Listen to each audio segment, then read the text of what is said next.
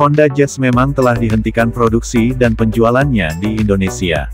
Meskipun begitu, di beberapa negara, Honda Jazz mendapatkan penyegaran dan telah dipasarkan.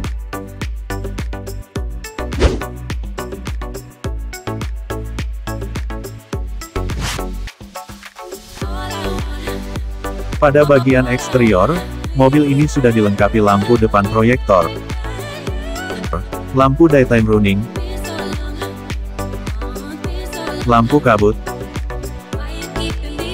dan lampu belakang menggunakan LED. Sedangkan bagian paling menonjol lainnya adalah penggunaan desain velg baru. Model teranyar sudah menggunakan velg dual tone bergaya turbin diameter 16 inci. Bagian kabin Honda Jazz terbaru terlihat lebih elegan berkat penggunaan jok berbahan kulit baik baris pertama dan kedua.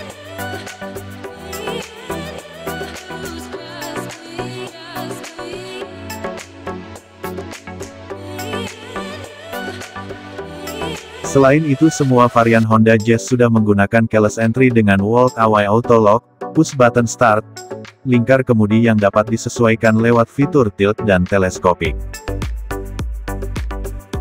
Sedangkan tipe tertinggi sudah menggunakan sistem bantuan pengemudi Honda Sensing. Ini termasuk Autonomous Emergency Braking, Adaptive Cruise Control, dan lainnya.